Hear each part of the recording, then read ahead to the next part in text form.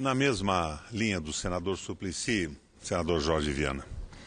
O homem que revelou ao mundo a existência do mais fantástico e tenebroso esquema de espionagem, de invasão da privacidade e de desrespeito à liberdade de pensamento e opinião, quer viver no Brasil.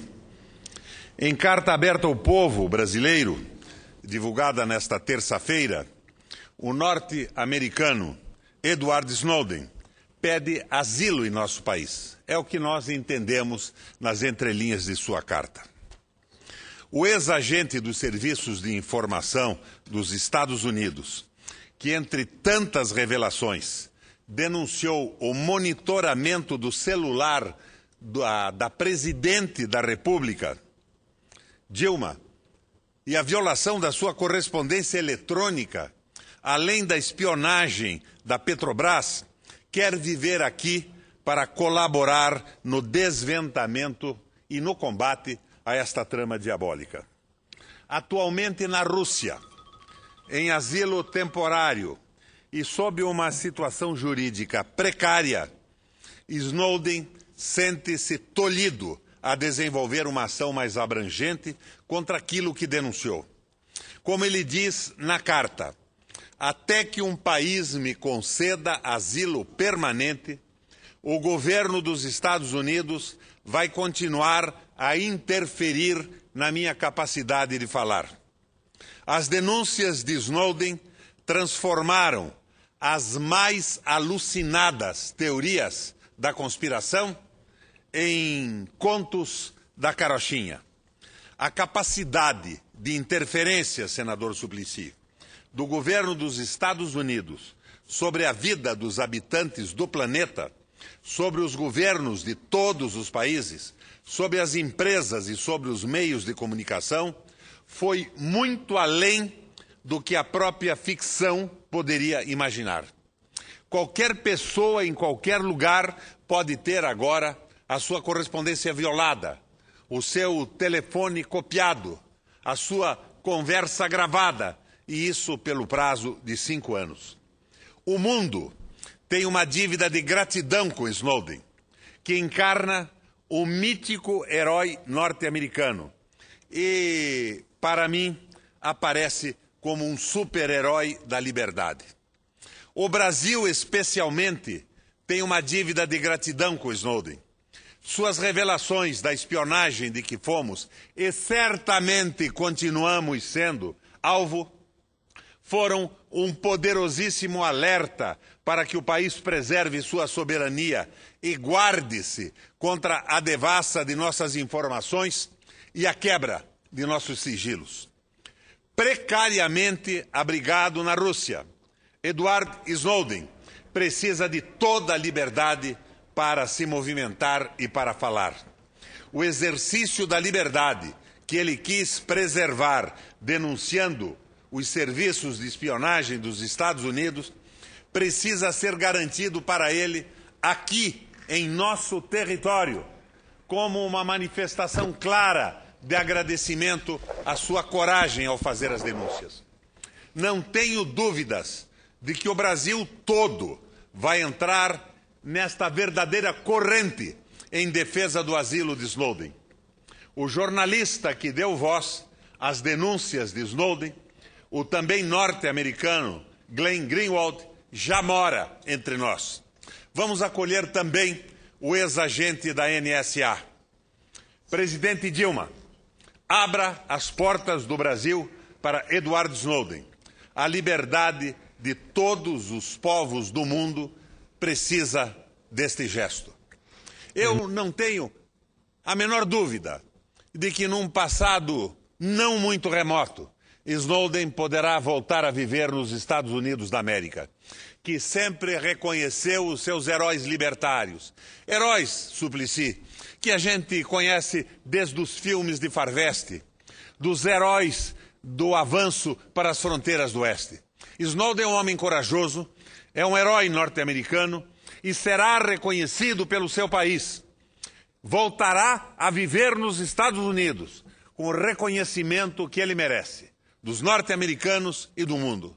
Mas enquanto isso, na América do Sul e não na América do Norte, o Brasil deveria lhe oferecer o asilo, sinal de gratidão, de reconhecimento pelo ato corajoso. Esse pronunciamento, senador, e esse registro eu queria fazer. Agora, um breve comentário sobre um assunto que eu conversava agora há pouco com a senadora Ana Amélia. A questão desse desespero pelo acordo bilateral do Brasil e do Mercosul com a União Europeia. Eu acho isso um desvario. Vejam vocês, nós perderemos o controle da nossa economia, o acordo bilateral com o mercado comum europeu. Senador Clésio, quando uma empresa estrangeira quer vender para o Brasil, nós dizemos sim, compramos. Compramos automóveis, compramos geladeiras, compramos iPads, mas fazemos uma exigência. Venham produzir no nosso território, gerando aqui empregos e querendo ou não, senador Wellington, transferindo tecnologia. Se nós abrirmos nos acordos bilaterais o nosso comércio, nós estamos possibilitando que eles participem, inclusive, de concorrências públicas, sem produzir no Brasil. E eles nos dão a reciprocidade. Imaginem nós concorrendo com empresas americanas numa licitação nos Estados Unidos, na França, em países de tecnologia mais desenvolvida. Perderemos o controle da nossa economia e definitivamente estaremos escravizados com a paralisação de qualquer possibilidade de crescimento da nossa indústria e do nosso conhecimento tecnológico. Nós não podemos concorrer com países mais avançados. E essa reciprocidade é, acima de tudo, uma absoluta falsidade. Pior ainda, senadores, pior ainda, porque essa abertura se dará também no setor de serviços, de planejamento e de projetos, que eles poderão oferecer e participar sem pisar no Brasil, impedindo o nosso crescimento de técnicas de engenharia, de avanços nos projetos de hidrelétricas, escravizando definitivamente o Brasil, que estará confinado a ser um país agrícola, fornecedor de commodities e sem industrialização, país algum será soberano.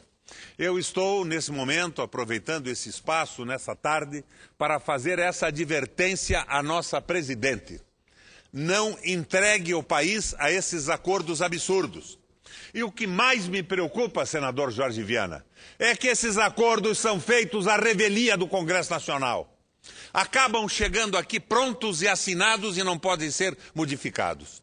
Há anos atrás, em parceria com Samuel Pinheiro Guimarães, nosso antigo diretor-geral do Itamaraty, eu redigi um projeto de fast track que fazia com que acordos assinados pelo executivo brasileiro fossem aprovados, principalmente acordos comerciais, por decurso de prazo, mas desde que o Congresso Nacional acompanhasse e interferisse passo a passo na sua elaboração.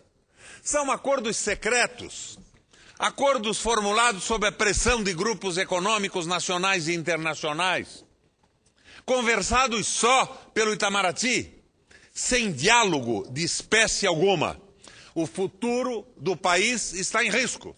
E o nosso governo, nesse desespero de manter produtos estrangeiros a preço baixo, com o real apreciado e o dólar depreciado, acaba tendo como ponto de apoio o sucesso nas eleições, liquidando definitivamente a possibilidade concreta do desenvolvimento industrial brasileiro. E nós já estamos muito mal.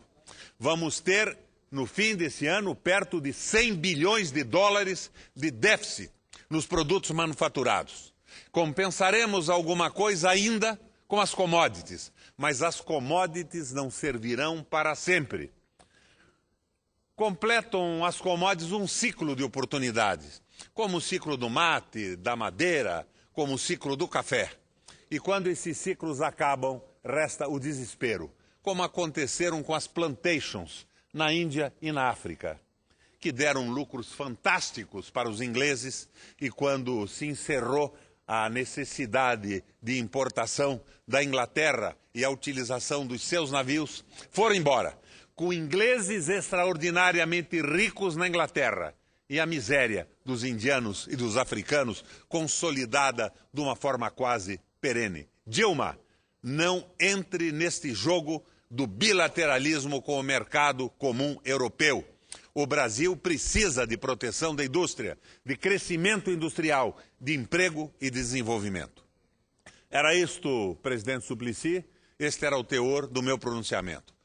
Um apoio e um apelo para o asilo do herói norte-americano e a advertência contra a bobagem que será o encaminhamento de um acordo com o mercado comum europeu.